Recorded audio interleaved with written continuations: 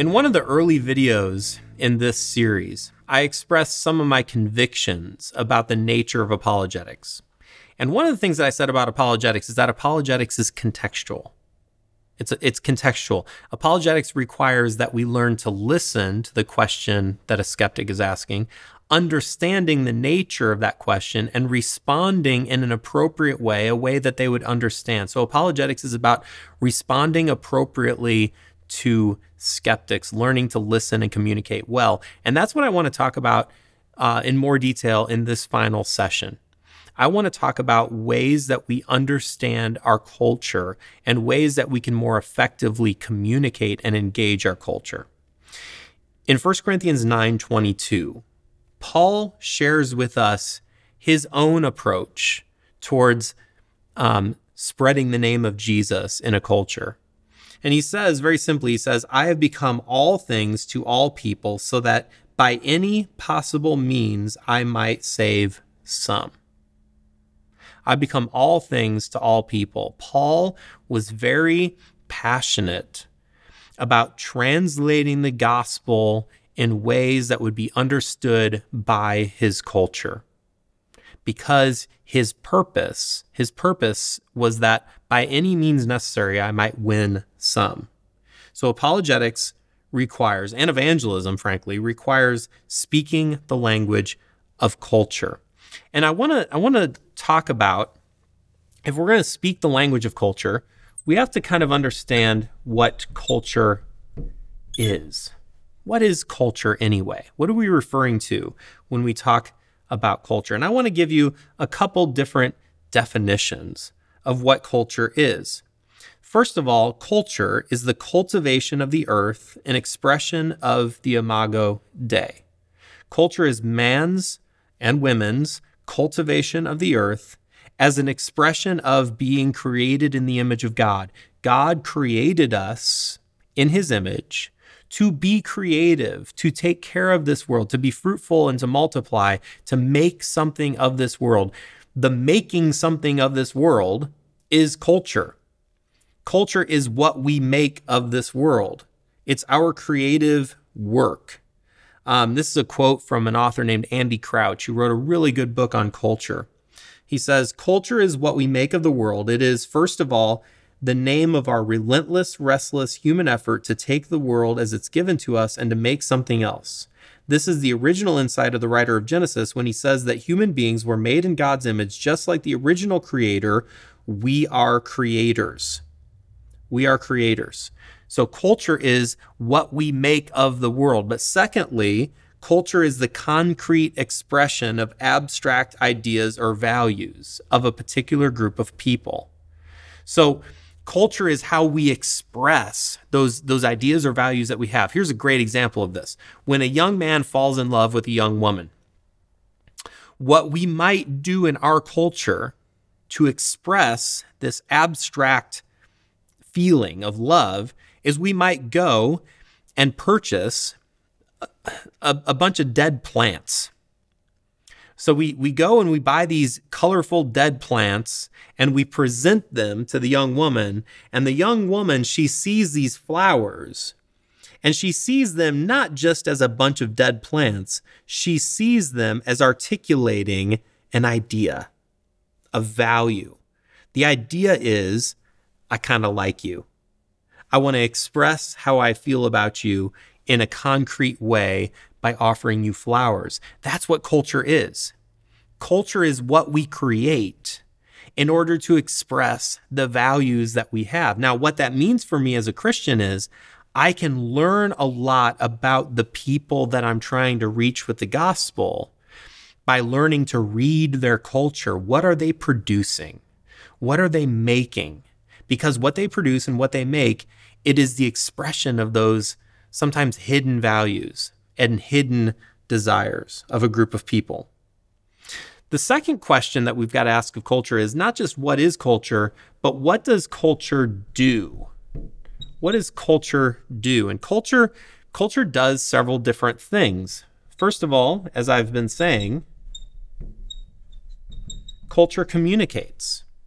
It communicates. It tells us something about the values and the beliefs, the priorities of a group of people. If you want to learn about a group of people, you need to learn how to read their culture, how to respond eff- effectively and appropriately to their culture, because culture communicates something about a group of people. Um, one of the examples that I like to give for this is in the United States, we have um, the interstate highway system, right? We love being on the interstate. What what does the what does the interstate highway system though say about us? What does it say about what we value? Well, it says several different things. It says that we value independence, we value efficiency, we value speed, we value the ability to go from point A to point B on our own timeline whenever we want to, how we want. To. Like an interstate highway system is not just an interstate. It's actually teaching us something about what we value it's teaching us something about what's important to us. And so if you again, if you want to respond appropriately to culture, you have to learn to see what culture is communicating. Second of all, culture orients us. We know we know how pervasive culture is when we find ourselves outside of our home culture. We feel all out of sorts. We feel alienated. We feel just kind of disoriented because all those normal things about our culture have been removed. The language is different, the food is different, the the the the the the the travel and transportation is different. Everything is different. Everything has changed and it leaves us feeling disoriented. Culture is a way of making us feel at home. It orients us. Number 3, culture reproduces. Culture reproduces. Culture is viral in this way. Culture spreads from one group to another. It reproduces. Um, and and and so we've got to pay attention to what ideas are being reproduced which ones are being spread widely even beyond a particular group of people. And then lastly culture cultivates. Culture turns us into particular people. Culture shapes us. We don't just create culture, culture in some ways also creates us. So if I'm a Christian trying to reach a particular culture, I've got to pay attention to all of these points. I've got to see what culture is communicating. I've got to see how culture is orientating people, making them feel at home, how culture is being reproduced and spread, what culture is being reproduced and spread. And also, I've got to pay attention to what type of people are being created by this culture. So these are all things that culture does. So we know what culture is, we know what culture does. Now, here's the important question though What am I as a Christian to do about culture? What posture do I adopt as a Christian in this world? And you know, there's several different ways that um, that Christians have chosen to engage culture. One way that Christians engage culture is with hostility. We put our fists up and we're ready to fight, tooth and nail, every chance that we get. We're just ready to fight it out with culture. We're ready to fight it out with the world. So we adopt this posture, this hostile culture, this hostile posture. We're ready to fight with culture. We want to be distinct. We want to be different. We want to fight. Um, and this is this is the the roots of sometimes you hear people talk about the culture wars. Culture wars are really born out of a hostile posture towards culture. On the other end of that spectrum,